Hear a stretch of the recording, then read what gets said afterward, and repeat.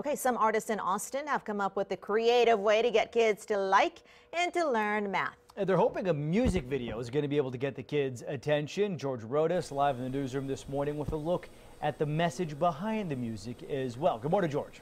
Yeah, good morning. You've probably heard the saying, knowledge is power.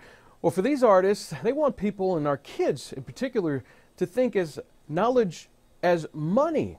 That's their main message and the focus of this music video they released earlier this week. Take a listen.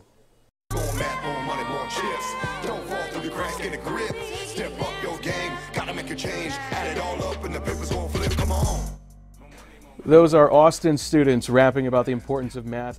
Part of the Math Matters campaign written and produced by area musicians. They want this message to spread throughout the country, hoping that this video goes viral because they say four out of every five students who don't take advanced math in high school never make it to college, possibly losing out on money, well paying jobs.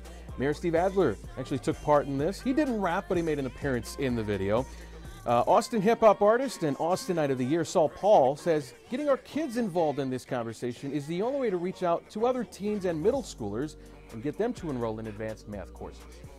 What we want young people to get from this is to recognize that math matters, just like the name of the campaign. And the fact is, uh, more math, more money.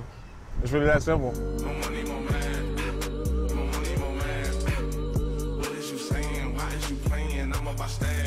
uh, it's not just that math matters, he says math is everything, and he equates it to life. Now, if you want to see the full video, you want to show your kids, we'll have a link to it on our website, kxan.com.